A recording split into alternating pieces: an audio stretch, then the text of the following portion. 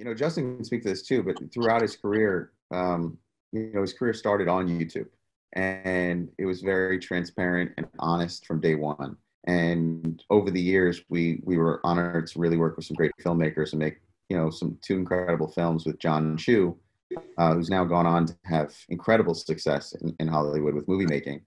Um, and this one, Justin just wanted to tell an honest story. I think Justin, you can speak to it, but you know, it's something that wasn't new to us as far as following. And Joe was having the camera as he's family to Justin and Hailey on them all the time. Hailey and I both had an independent relationship with uh, Michael Ratner um, and and had trust in him. And I think you know the magic really happened when both Ratner, Joe, and Justin actually got together and started having conversations about what this could be.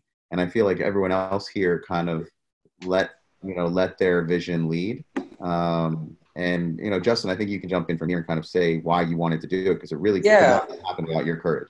So basically, everyone on this in this um, uh, chat room uh, on this Zoom is a part of my everyday life. Um, they all contribute to um, the different successes that we've had, whether it be music um, or whatever it may be. They all just play such a significant role um, and what we caught was just organic stuff. It was just organic relationship and organic relationship with each and every person in this chat, which made it, you know, super relatable for the for the people watching at home.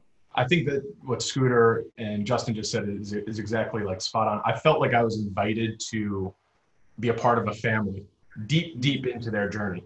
And it was like all access and there was no list of you know justin saying hey i'm inviting you into this family but you can't explore. Or ask me or touch on this this this. That there was none of that.